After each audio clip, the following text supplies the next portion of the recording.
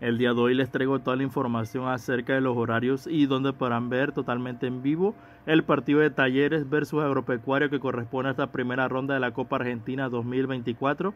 Así que este partido será transmitido en el país de Argentina a partir de las 5 y 30 de la tarde y de igual manera aquí están los horarios para cada uno de los países de Latinoamérica como también el este de Estados Unidos y ustedes podrán ver este partido totalmente en vivo. En Argentina lo podrán ver a través de TS Sport, mientras que en Estados Unidos lo podrán ver a través de las suscripciones de Fanatics y Fútbol TV y en el resto de los países de Centroamérica, Sudamérica como también México y el país de Estados Unidos lo podrán ver a través de TS Sport Internacional.